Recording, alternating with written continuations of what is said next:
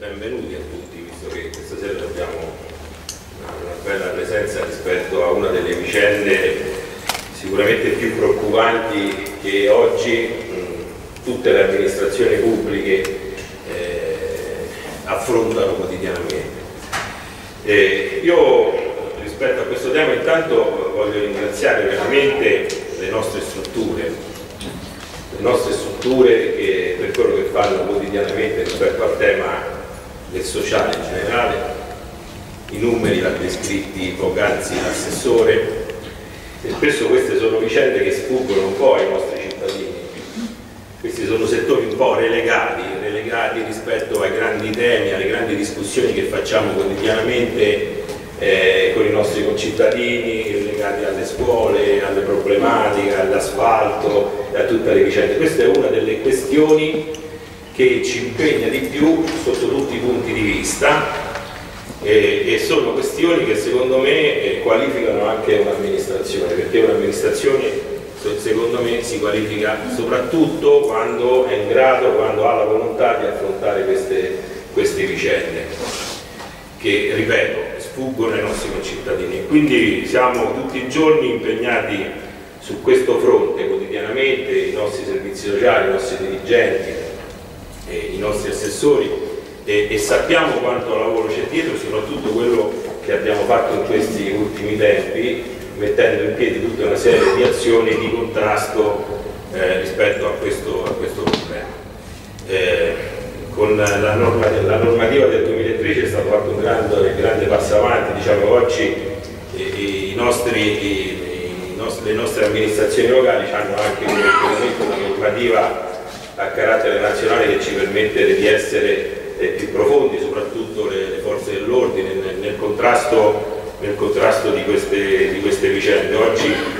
ascoltavo il telegiornale, a Milano è stato fatto un protocollo, una convenzione proprio per permettere alle forze dell'ordine di agire anche in assenza, in assenza delle, delle, denunce, delle denunce che spesso e volentieri questa è una delle, una delle questioni che manca all'appello, perché poi le nostre forze dell'ordine per agire hanno bisogno di una denuncia. Quindi questo è uno dei grandi ostacoli che c'è nel trattare, eh, nel trattare eh, queste vicende. Eh, e quindi questa è una bella iniziativa eh, che ci fa piacere il terzo anno che l'abbiamo messa in piedi ed è un momento anche per confrontarci, per allargare sicuramente i nostri orizzonti, soprattutto per capire se rispetto a quello che stiamo facendo possiamo fare qualcos'altro, possiamo aggiungere qualcos'altro perché è un tema, eh, è un tema molto molto eh, difficile da trattare perché tocca eh, le famiglie, tocca le scuole, tocca un panorama, il panorama più ampio e più profondo della, della, della nostra società. E, e quindi ben venga eh, non solo ricordare ma ecco, aggiungere qualcosa eh, perché ci permetterà da domani, da subito, eh, da subito affrontare queste vicende in maniera, in maniera più compiuta. E sono vicende che incidono, incidono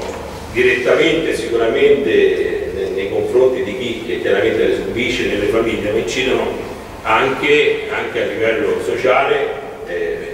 all'interno di un'amministrazione perché ci portano via risorse umane eh, in maniera cospicua e soprattutto sono vicende che incidono sui bilanci, i bilanci di un'amministrazione e questa è una corsa sempre, no? qui c'è il nostro dirigente, è una rincorsa tutti gli anni a consultivo di quello che è successo. Noi capiamo alla fine dell'anno quello che è successo durante l'anno perché chiudiamo, chiudiamo e facciamo i resoconti dei pagamenti,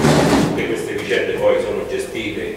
da, dalle, da chi, dalle, dalle, nostre aziende che, che in prima persona operano, sono gestite da strutture, da strutture che hanno dei costi, dei costi notevoli. Eh, e questo non, non, è un bene, soprattutto perché eh, eh, sì, i numeri tendono a scendere, ma